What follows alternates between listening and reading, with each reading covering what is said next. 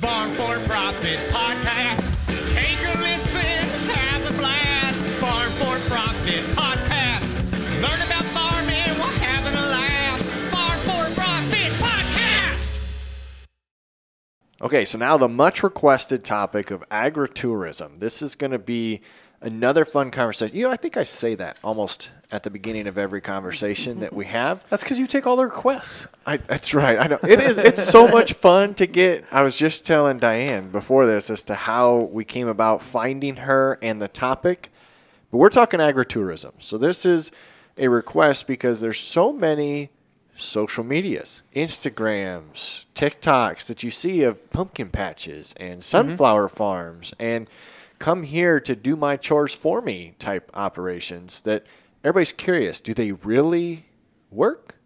And how do I get it started? So we've got Diane Weingarten, and what a better last name than mm-hmm. to maybe I'm just going to host a wine garden on my farm. But she is highly respected educator from right here from the best college in the state, let alone the nation, Iowa State University. So she is a community leader here.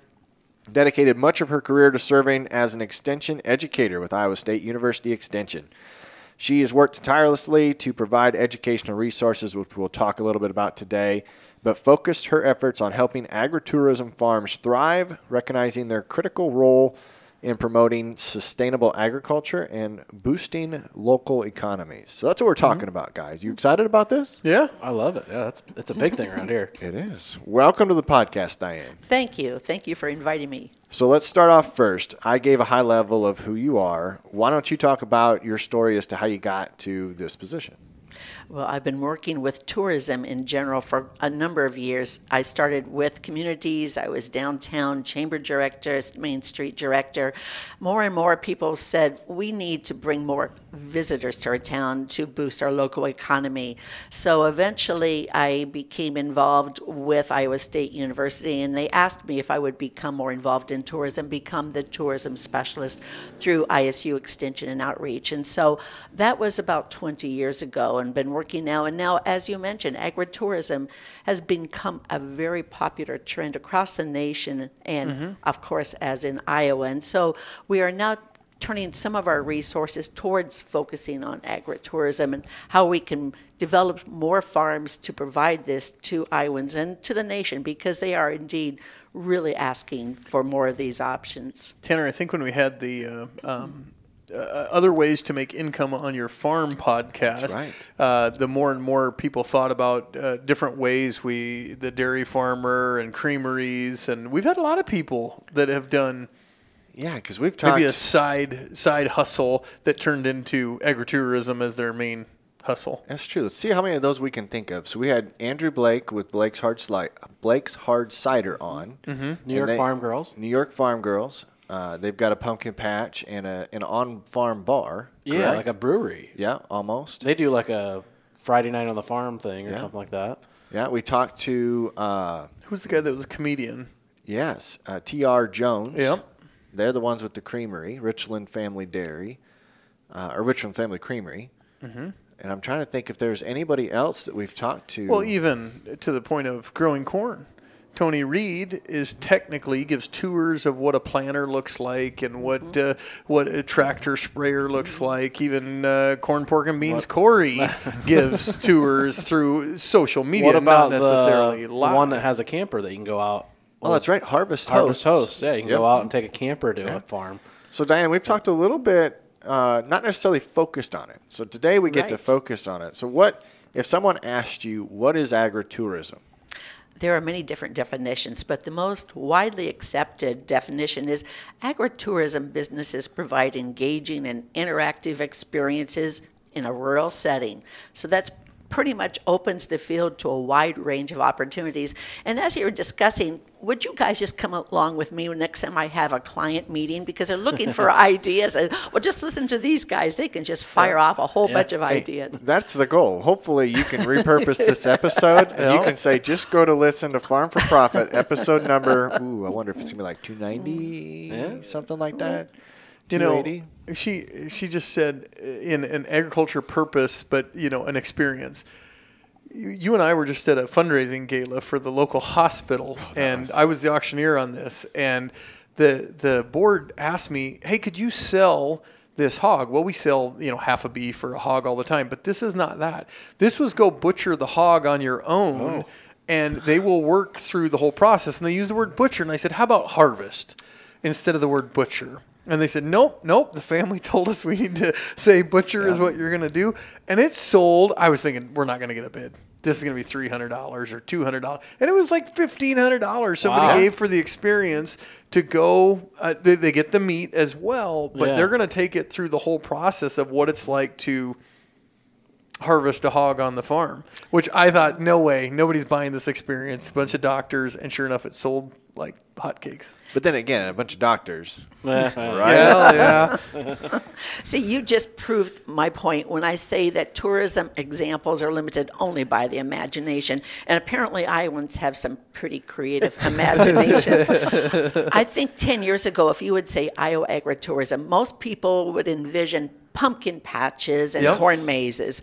But we need, and those are important assets, they continue to be, but we need to look beyond the pumpkins. We're looking at things like tours, festivals, unique dining experiences and all kinds of crazy settings and fun settings. Um, things such as outdoor recreation, bed and breakfast, and a really popular new trend in agritourism are unusual types of overnight stays in a rural location like bed and breakfast type. like bed and breakfast. Um, I'm working recent, currently with a new client. They bought a property and had an old corn crib, the round metal corn crib Oh, on it, yeah. and they were they were newly married, a young couple, and they said, "Well, this would make a great tiny house." So they reconverted. Actually, he's a design of architecture alum from Iowa State University. So I thought I could make a cool home out of this corn crib, and he did. And he thought, well, maybe this could be a side income, as you just mentioned. He said, maybe you know this is kind of developed into a nicer project than we were thinking of. It might be rustic. It was not rustic. It was a very nice finished interior. Maybe people would be willing to rent our tiny house on a mm-hmm. weekend, and we could stay with relatives and get some additional income. It turned out that they the response was wildly over what they expected. And so now it is full time Airbnb, and they cannot keep dates open for people who want to come. They book a year in advance. It's so wildly, po- and it's out in the middle of nowhere. So people are looking. Airbnb actually contacted our state tourism office, and they said since COVID, people became introduced to the outdoors, to the rural setting, and to Iowa. And we just do not have an inventory in stock in Iowa. Can you generate, help create more overnight stays in rural settings I in hadn't Iowa? thought about that. So, do you think COVID has driven growth in agritourism industry? all indications show that it has specifically in agritourism and especially in overnight stays. Corey, how many grain bins you got? Well, he does, we have a row of 10 government grain bins in a row 30,000 bushels or 35,000 bushels. And I've seen campgrounds, people take that row of government grain bins and they have literally turned them into cabins or condos. And it's now a, a campground. You, you, the only problem you've got is where they sit. They're going to smell hogs all day. No, no, no. That's No, it's that's up the to the imagination. This you have to do hog chores as well. See, You know? he has an imagination, and that's right. what that's what Another it one takes. I thought of was somewhere in eastern Iowa too. They had a silo, and in the wintertime they flooded it with ice over it, and they had ice climbing on it. Have you ever seen that? I've seen that one. Yep. Oh. I, I haven't heard of it for a while. Maybe they quit, but that, Sure. that was kind of a cool one. So, how do you identify what the unique selling point is? Is it just your imagination and say, hey, this is going to go? I mean, we want to make money at this. So, how do we, as our listeners, if they have an idea, how do they know it's good? Well, they can identify what type of customer they want or what they can offer. And we actually, research indicates that there are five primary categories of agritourism customers. In fact, we've created nicknames for them. Do you, are you interested? You want am, to- yeah, that's, what- that's your game. The first we call the explorers, and these are people who want to learn about new things. They're driven by curiosity, and they come to an agritourism destination because they think that they're going to learn something new. They may like to learn by doing. They may like to feed that baby calf a bottle. Right. They may like to learn how to make make pizza with a wood fired oven. So those are the explorers. So agritourism businesses who meet that niche and they provide education, and especially in a hands-on way, they can have a really large customer base of who we call the explorers. The next ones are the experience seekers. They are people who are looking for fun and especially different types of things to do. And they may be completing a bucket list, or it could be that they just went um, something that they can brag about. A lot of them are the social media posters. They want something they could take a selfie in a really unusual setting or doing something that is something that no one else in their group has done before that they can brag about. I often hear people in this group say, Oh, I can't wait to get back to Rotary and tell them about what I did this weekend. Oh, yeah, uh-huh. If you see selfie uh, places set up at different attractions, those are for the experience seekers. So they are the social media aficionados, the gurus. They really want to prove that they've been there, done Right. that, and are, are doing these unusual experiences. There's a third category we call the facilitators. Now, they do not go necessarily to attractions for their own purpose or for their own interest, but to provide these experiences to others. Maybe their children, their grandchildren, their friends. Mm-hmm. Maybe they're just coming along with their spouses who want to do this. And sometimes agritourism operators overlook them like, oh, they're just along for the ride. However, if they were not willing to come along, Correct. probably the rest of the visitors would not be there. So they're pretty important.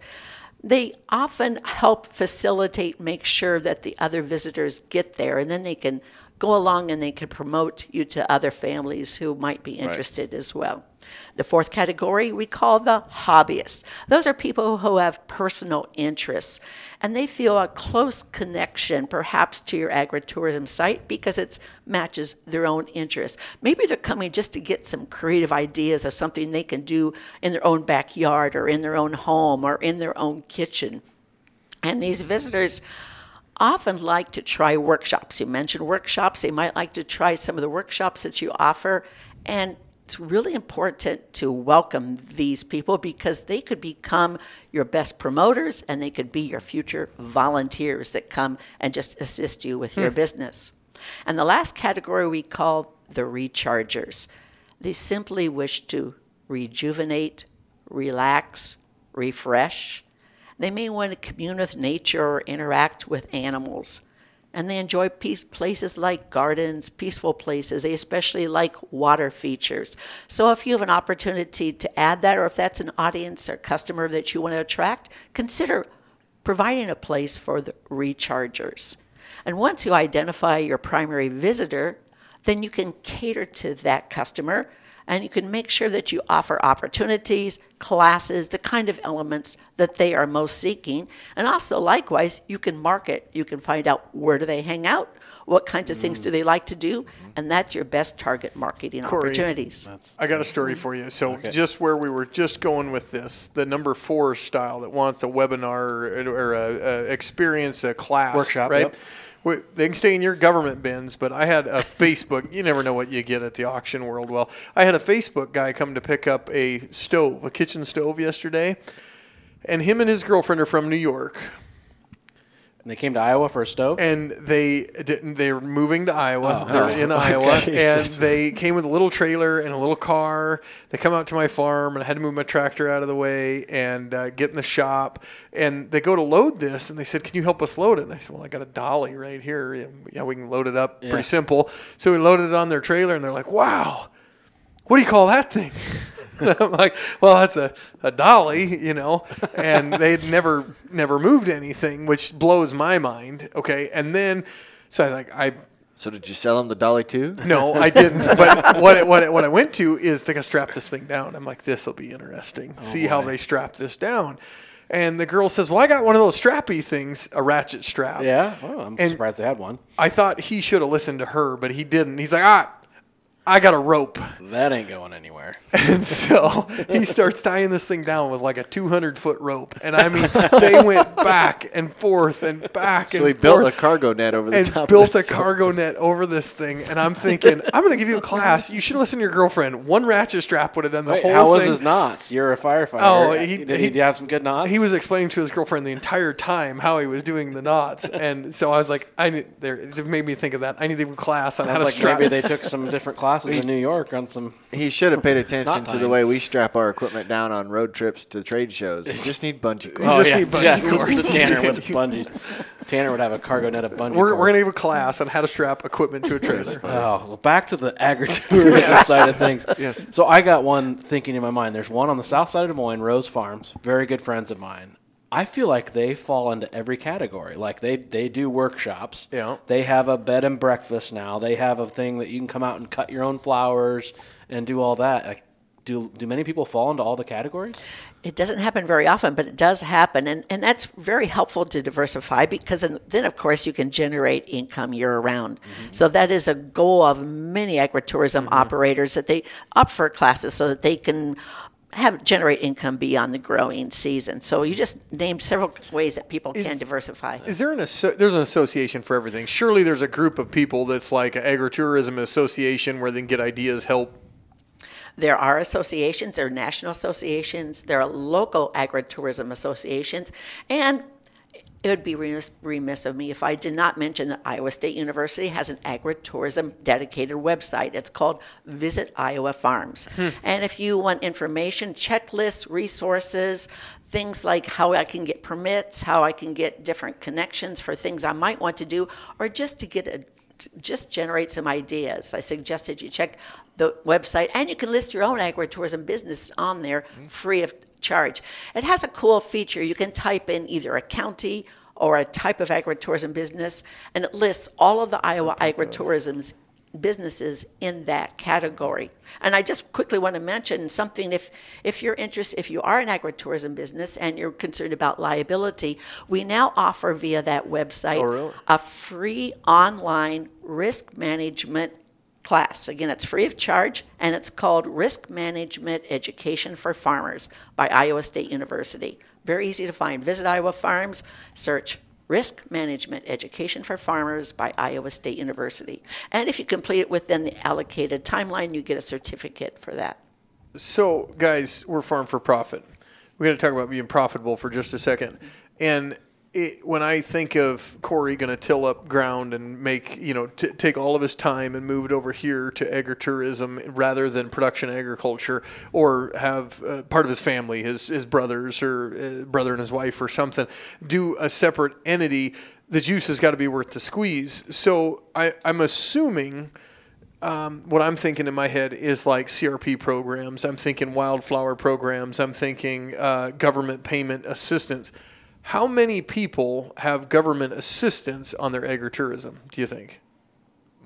That's a good question because there are government programs that, like you stated, if you can get a field of sunflowers rolled into a CRP or a nature preserve or a wildlife uh, habitat program, you could probably benefit off of that. Now, you do have to pay attention to, especially when you look at CRP rules, that you can't be in it, on it, mow it during a certain time frame. To where uh, there could be a little bit. No, Well, I was thinking of Blacks out here, uh, Seed Farm, and they did the deal, cut the sunflower deal. I'm like, who's going to pay to cut a sunflower? Everybody paid to cut a sunflower. uh-huh. I'm like, they probably got paid for the sunflowers on some kind of pollinator program and made money on the backside having people cut it and take a picture with it.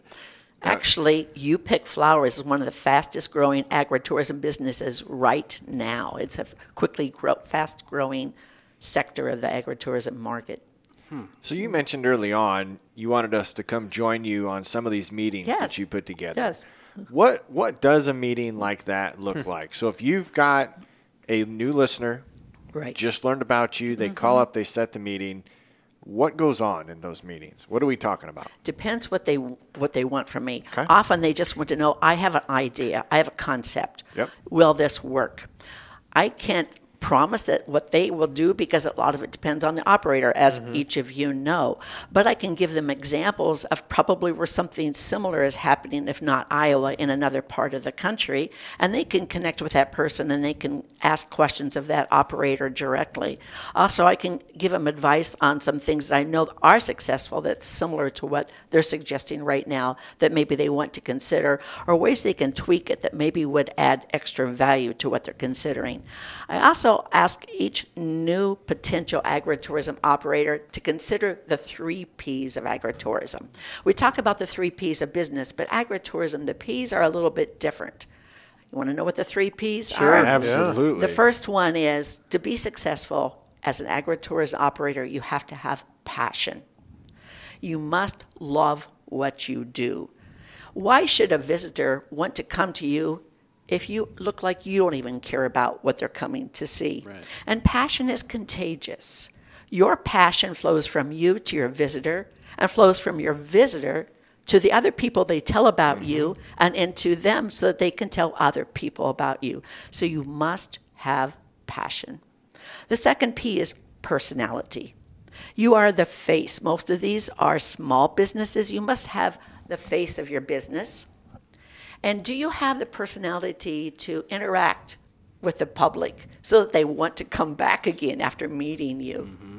And the third P is perseverance. Life happens, especially in agritourism and especially in Iowa because that's where severe weather happens. And Mother Nature can be an unforgiving business partner. Amen. So, can you push ahead regardless of the weather and regardless of what else happens? Now, the three P's passion, personality, and perseverance.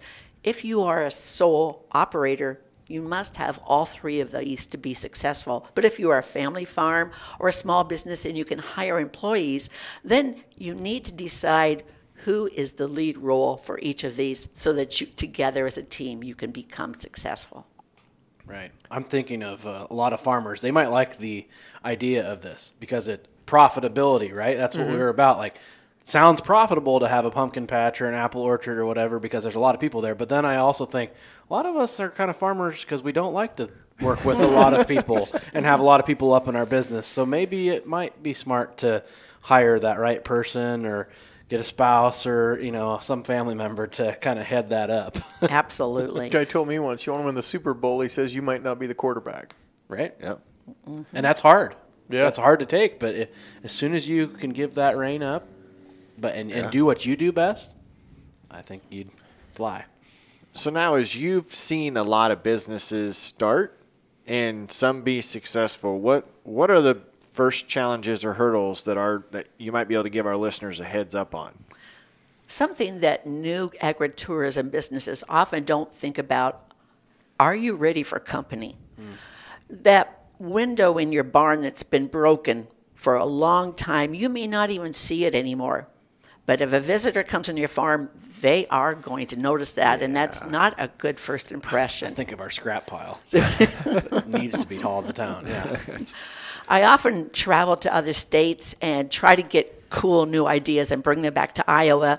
And sometimes I also bring back examples of what not to do. Yes. And my most recent agritourism experience, and this was not in Iowa, it was in another state, was one of those what not to do examples. And people often don't think about this, but you really need to. Am I really ready for company? And you need to pay attention to details. Details are very important. Um, in this example, I was with a motor coach group and we did an agritourism tour, and the lunch was a stop at a farm that was just new in the industry, and we were one of the first groups that they've hosted. And we are going to stop and have lunch. We got off the motor coach. They handed us a plate in one hand, a cup with a drink in another hand, and they said, "Enjoy your lunch." Well, there, there were no tables or chairs for our lunch, and this is what we thought you could just sit on our backyard. well, I need to mention here that we shared this backyard with a large flock of free range chickens. and there was no spot on our yard that had not already been visited by a By chicken. a chicken. That was not only a disgusting experience, but it was a potential food safety mm-hmm. issue. Sure. And so if we were, if I, if that was my client, I'd advise either the meal or the chickens need another location on this farm. This is something that would be very valuable to have other visitors do a premier experience with you before you start bringing visitors onto your farm.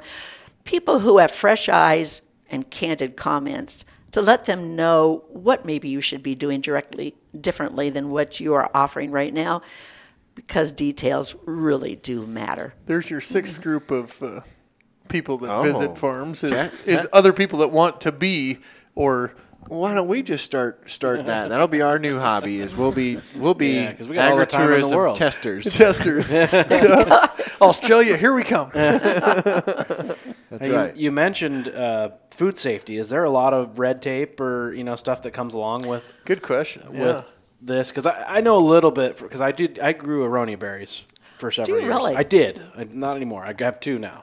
two plants. two, two Two berries. berries? two, two plants. I had 15 acres. I don't anymore.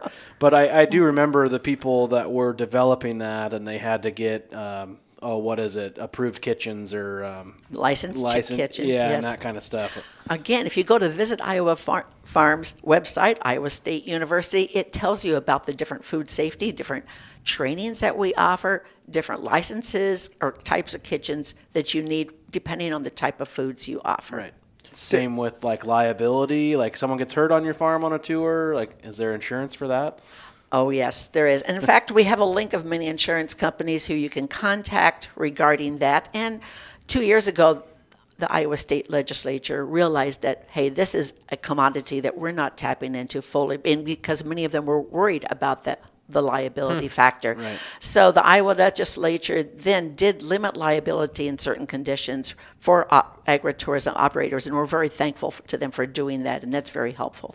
What is there a list of bankers that would loan me money when I want to build something like this too? Because uh, Uh, not every banker is going to take me serious. I think you need to talk to the person sitting I, next that's to what you I'm. about That's, that. I'm- are you on this list? I Tanner? do wonder that because banks won't give you money for stuff that's not. Well, like when you went to do right? aronia berries, it was probably a lot harder. To, I didn't to, get a loan. to sales pitch that. Tanner looked me straight in the eye and said no.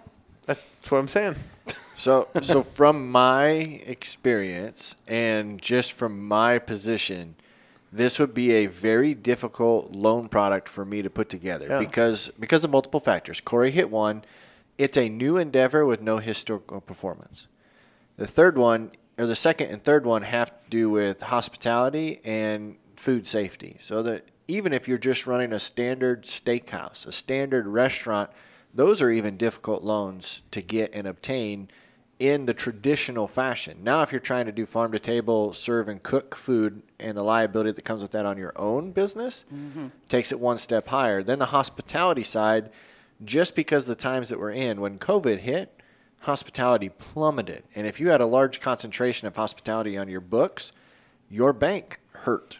So it's just one of those fresh memory things that probably makes this very difficult. Now, the what would be beneficial is if you have a farm and you have farm ground, that's one of the most secure forms of collateral. So if you're willing to pledge other assets and go about financing your endeavor that way, then you're probably going to get it taken as a uh, consideration at least. Do, do most of the people that you meet with, uh, Diane, do they they have money and an idea, or are are they already in agriculture and have an idea, or are they new younger folks that say, "I want to get into agriculture. I have an idea." Yes to all of the above. Okay. Again, it's limited only by the imagination and what they what they're inspired to do. Okay. Right. Now, I, I can't pass up this opportunity to let Corey know about a special opportunity he can have that we are going to be offering coming up, and it features one of the stops is an Aronia Berry Farm. I saw that on here. Yep. Is this something I can share a little bit about? Absolutely, yes. So we received a grant from Iowa Economic Development Authority, mm-hmm. Travel Iowa, and we are offering two special agritourism entrepreneurship business education tours. The deadline for registration for the first one is actually next week, and then we're doing another one in July. Hmm.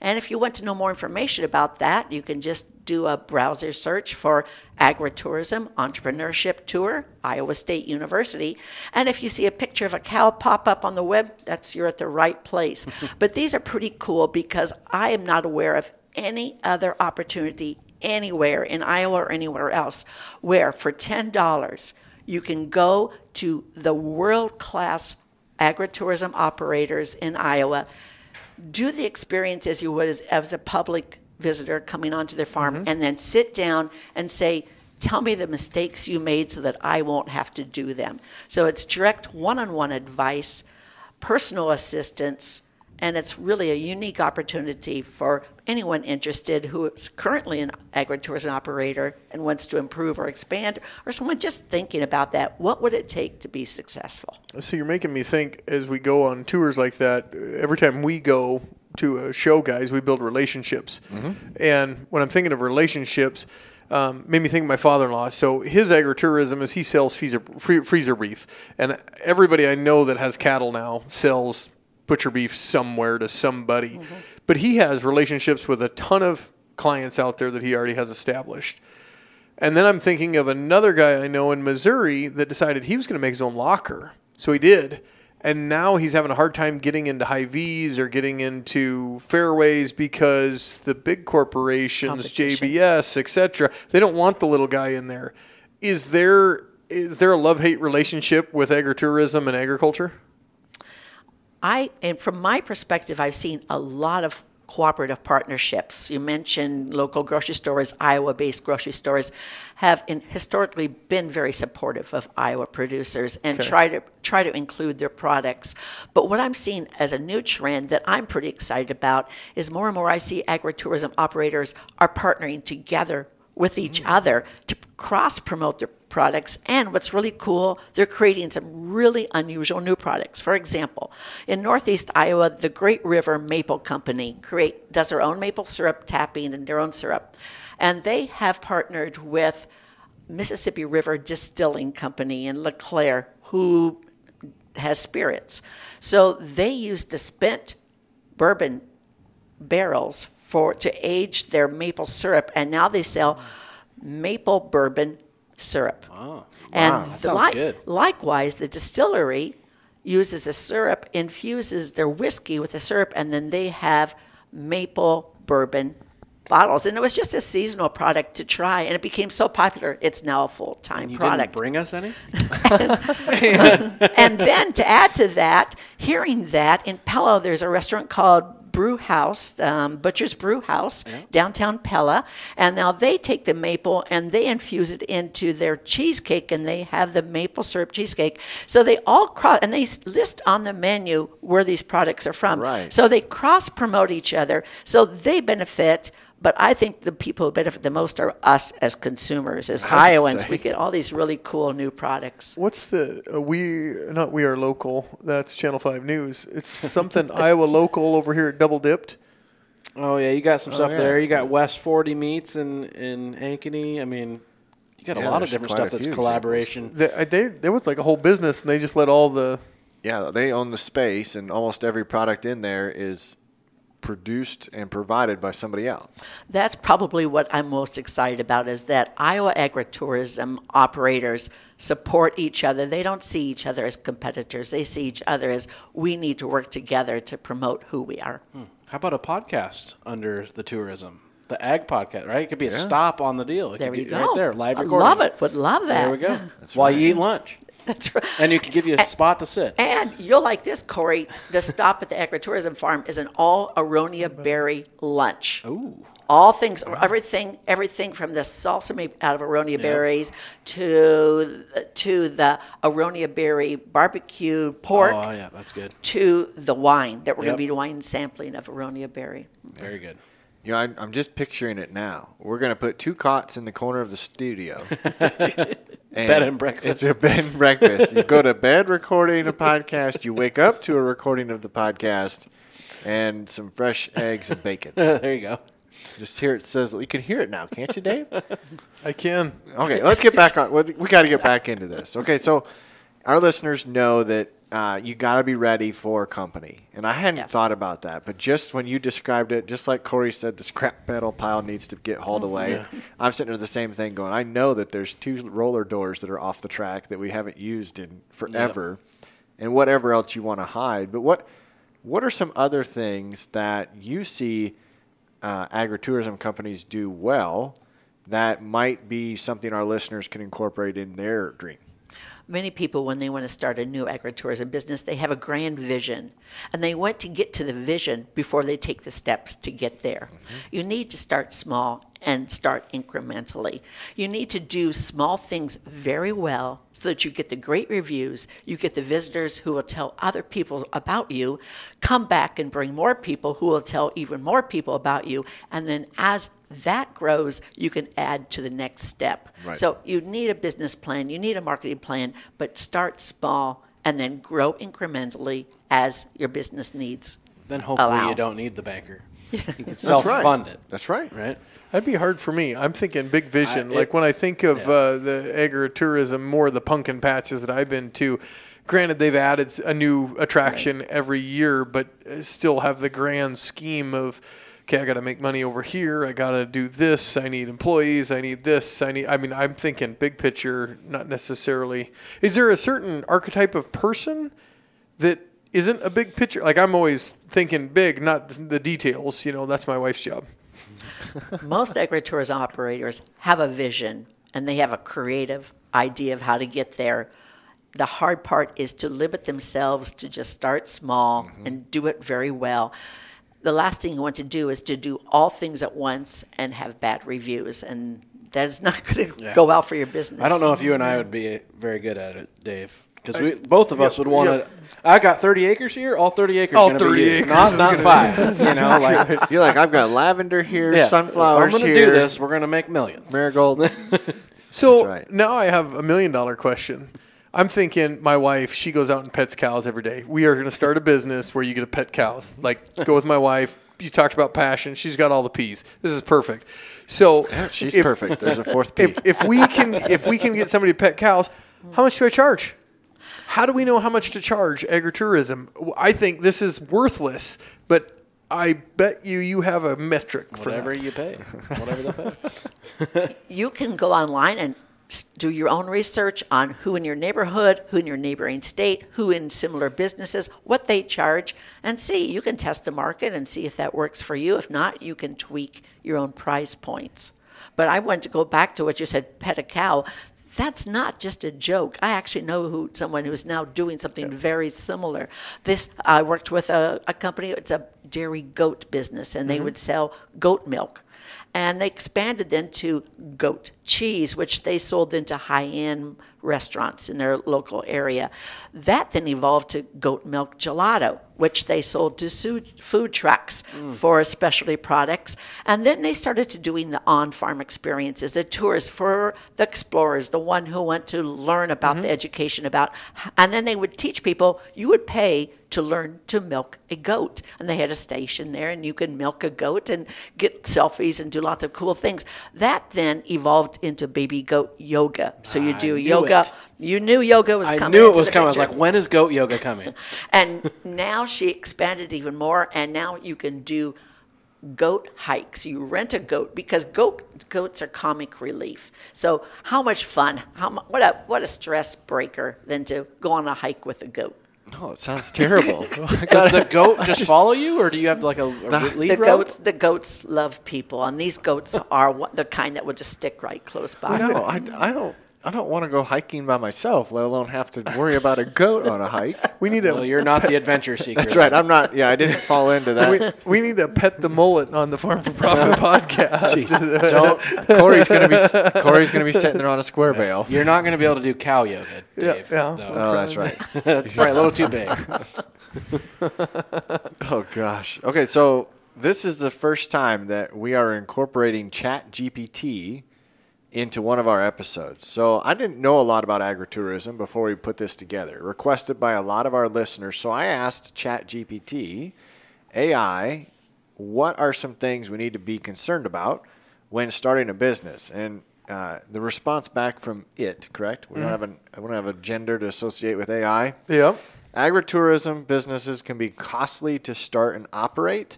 The expenses are often overlooked. Here are some examples. So, just like you said, most people have grand visions Exactly. and there's a cost associated with it. Maybe that's how we get to how much we have to charge. Yep. Because we look at how much it costs. So, it just gave me 10 things to think about We already talked about permits and licensing. You talked about how they can get the resource and, mm-hmm. and check out different there. Same thing with liability insurance. So mm-hmm. permits licensing one, liability insurance two, infrastructure was three. You talked about that. Don't feed me where your chickens poop. Exactly. Yep. Marketing and advertising. So we haven't talked about that a lot yet. So I'll stop here and kind of give you a, the floor. What are agritourism successful ones doing for marketing and advertising? Well, social media is a must, and that's a given. However, how do you decide what platform? Mm. If you identify your customer base, and we talked about the five different categories, then you define your social media platform according they to are. where they are, and that's where you Yes. go. Hmm. And maybe they are the type of people who also visit certain kinds of places, and that's where also where you can target your marketing. And maybe they are the type that do the, the passports. Travel Iowa has several agritourism passports that you may just want to go and pick up that idea. I'm not suggesting that you need to do it at the statewide level, mm-hmm. but just with your local chamber and your and your visitor bureau, they are always looking for more reasons to advertise of how can they attract visitors to the door with unique experiences. Agritourism offers that to them. You can create a passport program with maybe with prizes with not just only other agritourism businesses, with other retailers in your community, oh, yeah. and just make it another stop on your community hmm. passport.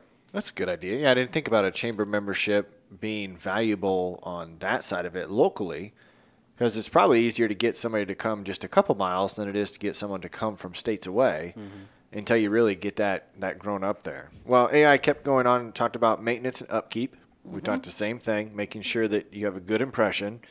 Employee training. You kind of touched on that a little bit when you, you mentioned three P's because if I didn't have if I didn't have all three P's, I might have the passion, but I certainly don't have the personality. Mm-hmm. I probably need to train some employees to do what I think needs to be done. Exactly. And um, we work with other state extension systems, other state university extension systems. Ohio State University is well known for their training program for employees of risk management and how to deal with public. And that link is on the Visit Iowa website with Iowa State University, so you can go directly to that and check that. So this is something, everything from emergency responses to first aid to how to prevent things from happening. It's all across the board, even hand washing stations after a petting zoo. All of these things you don't immediately think of, but there are checklists that you really need to be aware of and figure out how will this work on my site. Right. That ain't the real experience. You're not going to wash your hands after the cow craps on you. Yeah, Just got your straight- pants for us. I bet Go straight to your these categories of people do. Okay, so then uh, AI continued to go down the line, talk legal fees, obviously Mm-hmm. forming a company, making sure that you've got an attorney to review contracts, Mm-hmm. overnight stays, taxes. Now, I know when we stay at a hotel for a, a conference, Oh, there's yeah. a hotel tax. Lots of taxes. There's all kinds of yeah, serviced your room tax or whatever it is. is is there different taxes for agritourism? That is dependent by the region, the county, the city that Yeah. you're located in, the local hotel motel tax. Yes. Okay, yeah, that's uh, I wondered. I didn't. I hadn't thought about that. So thanks to AI for for popping. I hadn't this thought in about there. this last one. That's crazy. Yeah, so the second to last one was accessibility, so or accessibility. You know, the handrails near a toilet, the making sure you have a ramp if you wanted to be handicap accessible. You don't have to be, correct? It depends on the size of your operation, the thing. type of thing that you have. Yeah. Would this be considered commercial, or does it stay under ag? Do you think? Probably size again. Again, it, uh, and, and and not just the size, of the categories, even lodging. There are different grades of lodging of what you must meet for Yeah, 'cause then your county could throw some fits at you if you get zoned wrong. There are zoning issues. Again, this is all very localized Yep. on on policies. It just goes to the importance of this isn't something you start tomorrow because you had the idea today. Exactly. It's a process to get through it. But Dave, what was the last one that caught your eye? Emergency planning. Like, what if a tornado? Yeah, a What do you do? derecho. Yeah. Never, Yeah. never would have Mother thought about Nature. that. Probably have to have a shelter close by if you're going to have quite a few people.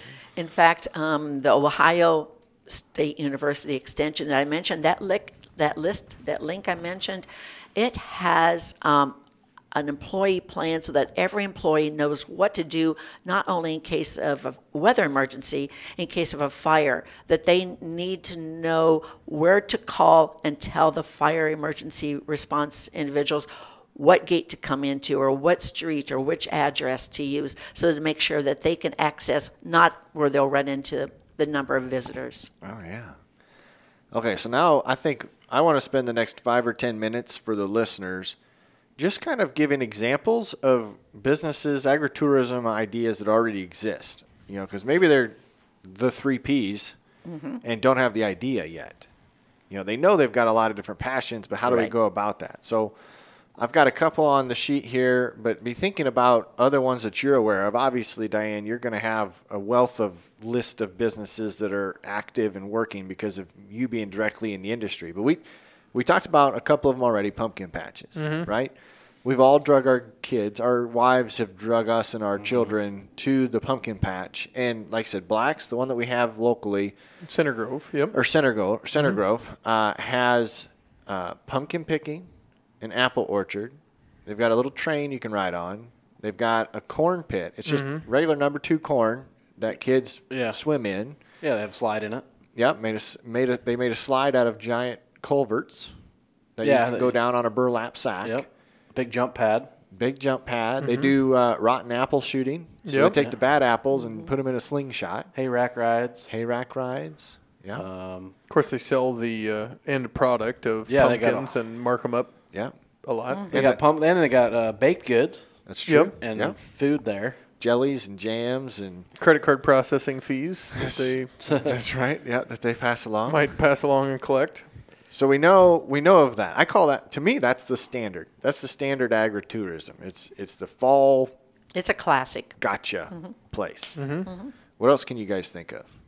I've kind of already gave in mine Rose Farms, that ice deal. Um, trying to think of some others.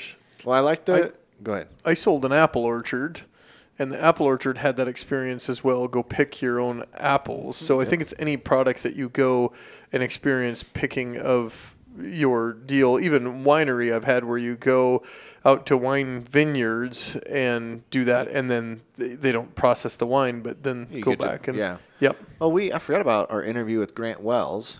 Um, his wife has you pick strawberries, Right. That they they grow with their their special technologies. What are some, as we think longer, that you've got as examples, Diane? Well, I think you referred to wineries. There are over 100 wineries in Iowa. I think the last time I checked, there were 118 wineries in Iowa. And it's still a growing industry. But of course, they've now expanded into classes, into food pairings, into pizza nights. And another growing part of the spirits are the breweries, the craft breweries, and the distilleries. So food and beverage is huge. Local foods is huge. So, especially now, and especially after COVID, people became reintroduced to make your own kind of food and they they appreciate making things with their own natural ingredients and knowing where their food comes from. So anything that incorporates food and beverage, you get a lot of people's attention. And then if you can provide that in a unique setting that offers selfies and social media Right. posts, then you just you're really marketing up to another audience. Yeah. Earlier, we talked about dairies that involve creameries and have products on the farm. You mentioned the experience of, of being able to go milk, whether it's a goat or a cow. Right. Well, if you want to talk about a new experience, the New Day Dairy up by Clarksville, you can sleep with the cows, literally. Except it is, it's the barn, and of course, um, it's it's a robotic dairy, which round round the clock the cows are milked by the robots. But then they have a room addition, two level with giant picture windows. So it's an Airbnb, and you can go and stay overnight, and you can um, mark your cow, pick your cow, and at any time of the day you can watch your cow, whether your uh, cow is sleeping, being milked, eating, that kind of thing. And the next morning you get a personal tour by the farmer to meet your cow, pet your cow, and as you mentioned earlier, Corey, for an additional fee, you can help do the chores. So, is there any? We've had maybe some social media influencers that have done this, but like uh, name your corn plant. Yeah, wasn't there? virtual agritourism. Wasn't almost. wasn't there somebody was that, that was Aaron Holbert or was No, that no, Zoe? uh, no. It was uh, oh, it was Nebraska. Laura. Laura Farms. Laura Farms? She would like name. People were buying stuff for one corn plant. They named it. They- and she they would got to- give them updates on it. and give them updates on where it was and pictures. And I'm like, really? They wanted to watch it grow. Absolutely. Well, I mentioned uh, Mississippi River Distillery in LeClaire. All of their products are made from grain grown by farmers within 50 miles of the distillery, and then they have small batches, and they would label, they would bottle and label with a number, and then when you buy your product, take it home, you could go on the site and see the name of the farmer who produced the grain that is in the bottle of what you're drinking. So people do love that connection with Iowa, with farmers. What about even um, Christmas trees? Go, go pick your Christmas tree. I mean, that's kind of agriculture, and and is it's it's it's an experience to go out, sleigh ride, pictures, family pictures. They've kind of set up even out here. Um, trying to think of the name here. Strotman. Strotman's. It's not just get a Christmas tree. It's go have a whole event. What I love about the Christmas tree farms is, you know, they all go and you pick your tree out and then they trim off the branches at the bottom for you. That's what they make into their garland and their wreaths. They're not throwing that away. Oh, yeah. Because I tried to throw the extra pieces just in my truck. Like, hey, that's the tree I picked. I'm going to take the branches from it. No, no. no, no, no. Those go right into making the wreaths You and the just garland. doubled that tree's money. I, yes. Value added. we we also have one uh, here locally, Living History Farms. Mm-hmm. So that's using the history side of agriculture and offering a different, an educational An experience. educational experience, yes. Yeah. Well, another one I can think Avenue of Breeds at the Iowa State Fair. So for the people that don't know to go to the hog barn or go to the, you know, there's a whole avenue of breeds put on. I think it's the FFA mm-hmm. that puts it on, and they have a breed of every animal that's there. So a petting zoo. It's basically mm-hmm. They've even got it virtual, or not virtual. They do have virtual, but they've got it so like pigs are having babies and stuff like mm-hmm. while they're there. Mm-hmm. Because North Polk used to take care of the Avenue of Breeds when it was on the south side of the mm-hmm. fairgrounds, and we never had babies. But now it's up on the north side. well, and then That's on the north side they have the it's the birthing. yeah, the birthing birthing barn. Or maybe barn. that- yeah, That- they have the birthing barn now on the north Yep. north end of the fairgrounds, and that attracts a ton of Oh, people. man. So uh, again, getting some support from AI. The list that we got that we haven't already mentioned, AI talked about, like you mentioned, was farm to table dinners. So that mm-hmm. eating experience mm-hmm. in a unique setting, ag education and workshops. We've already talked about that. Farm stays, a lot mm-hmm. of unique ways to do that. Whether it's in a grain bin next to uh, a dairy parlor, the attic of your house, in a barn, uh, harvest host, park a camper. Glamping. Yep, glamping. yep. I, th- I think that. That's uh, what that's what I think what Dave would do if he went camping. glamping. yeah. No, mine is go meet random people. Remember uh, when I met? Uh, um, I can't even think of the name uh, in Idaho. Um, when I went out and just uh, met them on TikTok and visited their farm, and they put me up in one of Oh, their. that's uh, um, um, ranch. yes, uh, I can't think of it. But anyways, in Idaho, I went out and visited their ranch, and we just met took them his, took randomly. his wife out there. We did the interview for Oh, oh, uh, Cheyenne. World of Ag. Cheyenne. Yeah, World Yes. of Ag. Cheyenne. I I think that's an experience. That was Just- Idaho. I thought it was Colorado. It's Idaho. Pick a random spot and just go. Like if you just pick a airport and say we're flying here today, that's an experience. it. But Agritourism and adventure was another one that, that AI put out. Uh, the glamping is one that's on their list. Art. I didn't even think about that. That one, actually, they they hit one that's really become popular right now. I'm working with another client who has, you pick flowers, you pick gardens, but now she's doing classes plein air painting, which is simply painting out in the open air, and then they, you could come out and learn in nature how to paint and have a peaceful kind of thing. So art is very popular. I got an idea for you, Corey. You know how sometimes you can send prank gifts to your buddies? Mm-hmm. What you should have is you should host the prank agritourism location. So somebody buys you, you're like, oh, thank you. And a Christmas present, they gave you a trip to Corey's farm, and literally they have to stay in a tent outside of your hog giant barns. joke. In your hog barns. I don't think I'd get very good reviews. Oh, that's right. you get great reviews if it's the giver, well, yeah. not the getter. I was really mad at my boss, so I sent him out to Corey's farm. so uh, when I think of getting reviews, I think of giving stuff away. So we give a lot of stuff away to get the reviews, get people interested at first, and then they tell their friends, and then we they charge their friends for it. How much giveaways do you have to do? So I do charity auctions all the time, and there's a lot of people that give experiences away. As a real estate agent, I give uh, uh, gifts away afterwards that are a lot of times experiences, and then they go and you know you're recommended by somebody to go do this. They might not be the person that does it. How how important are giveaways? I hear very little of that with agritourism. If you have a really creative, unique idea, it will sell itself. Really? Okay. I believe it. I mean, we're looking at all these things that we said listed off, and we would probably go do it, and we're in agriculture. Mm-hmm. Let alone somebody that's looking for that ag experience that mm-hmm. doesn't get it. Mm-hmm. So and it's excuse me no, now and now it's really capturing the world audience. Um, I have a, a, a farmer I work with near the Quad Cities, and he works with John Deere, and of course they have people come from all over the world to their corporate headquarters in the Quad Cities, and they were looking for how can we show our equipment in a real life setting. So he is paid. That's a corporate partnership. He is paid by John Deere to host these people and teach more about Iowa agriculture. And then that expanded into other corporate connections. So Viking River Cruises, you may have heard of, they are now on the Mississippi River. So each week they another world audience comes and they come onto this Iowa farm and learn about Iowa agriculture. So we actually we're teaching the world through agritourism about what we offer here in Iowa. Hmm, that's, that's now they great. just need to set up on barges because they're going up and down. Like you could have like a couple uh, shipping containers that are set up. Yeah. you could just go with the beans down the river. that's that's really have funny. little stops along the way. Ports of call it Muscatine. Yeah, there Yes. you go. I like that. You got to fly into yeah, you got to fly into the northern point, and you fly out of someplace further down the river, and And depending eventually upon you'll get to China. Correct, yes, your You're your gonna tour China. four month vacation. Yeah. Do you think any of this started? I'm thinking of Mike Rowe and Dirty Jobs. You know, he wanted to show the world what the world did. You know, what all the dirty jobs, and I think a lot of people. I mean, it was a fantastic, popular show. Is it uh, even dirty agriculture? I mean, is it that people want to see the stuff they don't get to normally see every day?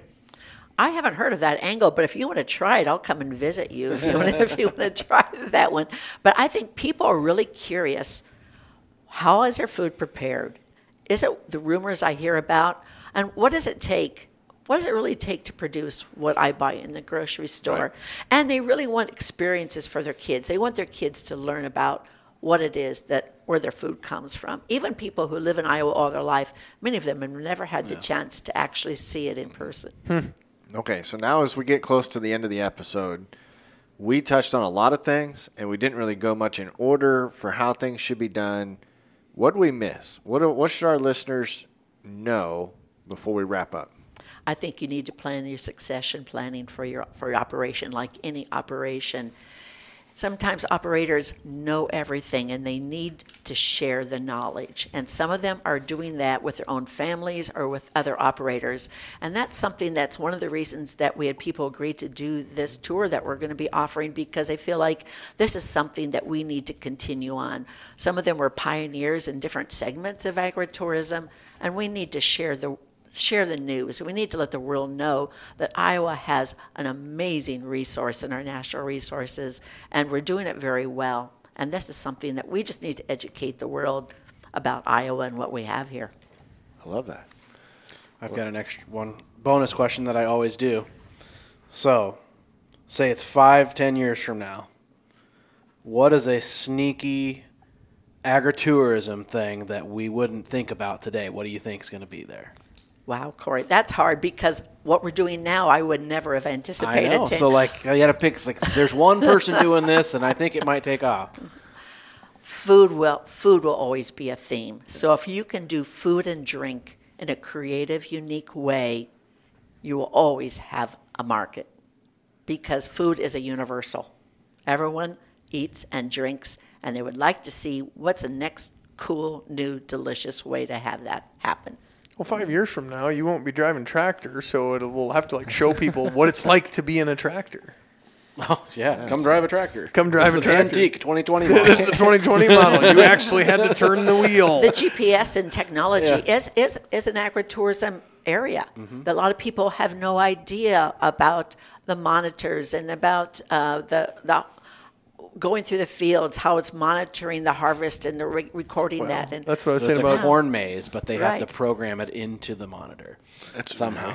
it drives it through. right. I love the idea of you got to come plant five acres. You take a 160 acre field, divide that by five, and you just each day plant five acres. You may never get a crop off of it, Yeah. but if you charge enough for them to come plant it, and then you got to spray it, and then you get to you could And then you get John Deere to test their stuff on it. Yes. So then they're just paying you to do that. I think you get crop, You don't even care if you harvest it. Could you get crop insurance on that though too, and double Doesn't dip? matter. Oh, what- I mean, it was planted. I, I'm not going to say they Planted planted it 20 right. times. Oh, that's good. Well, Diane, this has been a pleasure. We let we don't let off all of our guests easy, so we ask everybody the same questions. So we can put a pool of answers together in a recap show. So the question that you get to fall into is: What advice would you give to yourself back at age 18, or to someone who's listening now, who's in that same age range? So think about that, and try not to get distracted by my summary of today's show. And it doesn't have to be anything agritourism. It's just Okay. what is something just you tell advice yourself. for someone because we've learned we've got a lot of young listeners. So mm-hmm. we talked to a bunch of experts and people full of life lessons. So what would you go back and tell yourself at 18? Corey, you get to challenge people today. Okay. I'll go through with our summary. So we talked agritourism. We again had uh, Diane Van Wyngarden, which is an agritourism destination itself, uh, here from Iowa State University Extension to give us a lot of really great perspective. Uh, the things that I wrote down is you come up with your idea, but then you got to think about your target audience. Who's going to enjoy your idea? And we got five categories the explorers, the experienced people, the ones looking for fun, facilitators, the ones I even thought of, uh, like my wife's company does corporate retreats. So she has to plan where they're going to go, if they're going to paintball or if they're going to go someplace. And then you have the hobbyists, which could be future promoters and volunteers. You have rechargers, which is uh, all of those people that started to work from Airbnbs during COVID uh, to get away from the city. Think about every piece of your farm, but know that there's resources. Visit Iowa Farms, the Iowa State uh, University Extension's website for the state of Iowa. Uh, has risk management tools, uh, has connections to insurance, has other resources for those that are looking at getting started. But one of the key things is you got to reflect and be honest on who you are as a person because we got three P's that matter passion, personality, and perseverance. And if you don't have those three, you need to find people that have something that you don't have in order to be successful. Think about it. Try to have an independent approach when you look around your place of agritourism. And are you really ready for company? Are you really ready for somebody that's not your mom and dad, not your brother and sister, to come in here and not be ashamed for a word, not be embarrassed or disgraced uh, to come hang out? And then as you dive into this, do small things very well first. Create a various forms of revenue, whether that's education, through sales of products, through events, hosting uh, experiences, and then look around you at others that are in agritourism for a partner, and maybe you can help cross promote. So that's my summary for today. How did I do? Very well. Okay, it's your time to A. shine.